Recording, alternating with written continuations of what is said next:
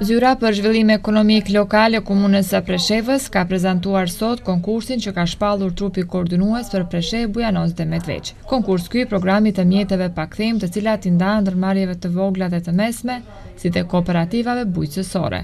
Në prezantimin e programit ekonomik për ndarjen e subvencioneve morën pjesë disa nga sipërmarrësit e interesuar, që veprojnë në Luginë të Preshevës. Bëhet fjalë për një program që ka filluar vitin e kaluar, ku janë ndarë mjete pa kthim ndërmarrjeve të cilat janë të regjistruara në territorin e komunës së Preshevës, Bujanocit dhe Medvegjës.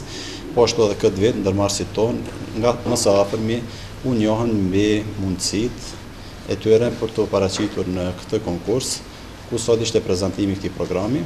Trupi koordinues pra për këtë vit ka planifikuar një shumë prej 60 milionë dinarë, për komunat e Preshevës, Bujanocit dhe Medvegjës, veçanërisht për komunën e Preshevës, një shumë prej njëzet e dy milionë e pesëqind mijë dinarë mjete pa kthim të cilat pra i dedikohen ndërmarrjeve të vogla dhe të mesme të komunës tonë. Qëllimi i këtij programi është që të ndihmohet zhvillimi ekonomik në Preshevë, Bujanoc dhe Medvegjë si dhe hapja e vendeve të punës.